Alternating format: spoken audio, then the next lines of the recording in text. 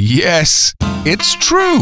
Your mother knows a lot, Oh, you're so funny, honey. but grandmother knows everything. Grand-mère, c'est mieux.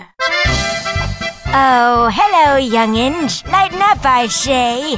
Joking with your toddler helps set them up for social success. How many puppy dogs does it take to change a light bulb? Who cares?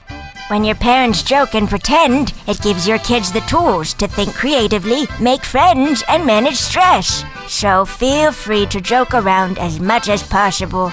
By the way, dogs don't have fingers. It's fact. Grandmother knows best.